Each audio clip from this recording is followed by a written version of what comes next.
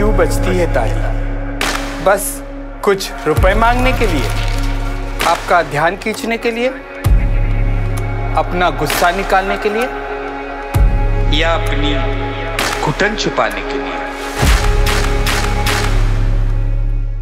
क्या इसीलिए बजती रहेगी ताली? नहीं। अब ताली बजेगी हौसला बढ़ाने के लिए, एक नई पहचान दिलाने के लिए।